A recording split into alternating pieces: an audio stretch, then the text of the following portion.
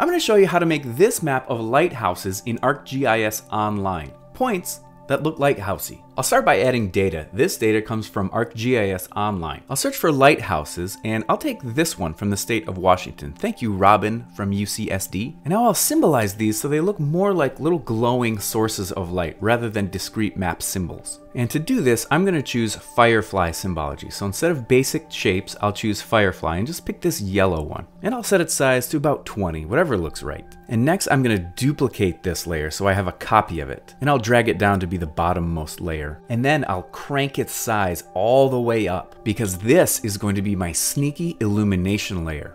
Speaking of which, let me do a little bit of housekeeping and name these points and illumination so that I can keep them straight.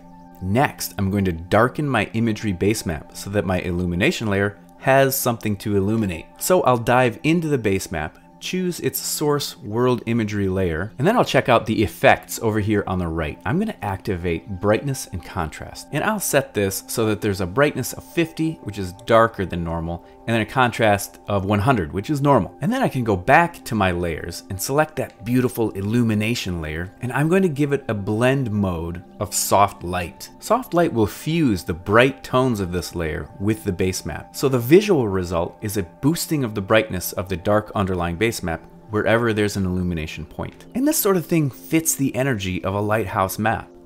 I like it. Here's a quick before after. I like it so much, in fact, that I'd like it to be even stronger. So I'm going to duplicate this layer to really ramp it up. And this is how you can paint with light in ArcGIS Online, using blend modes and effects. And your data doesn't have to be literal points of light, like this lighthouse layer. There are all sorts of themes or story maps that might benefit from an illumination effect like this.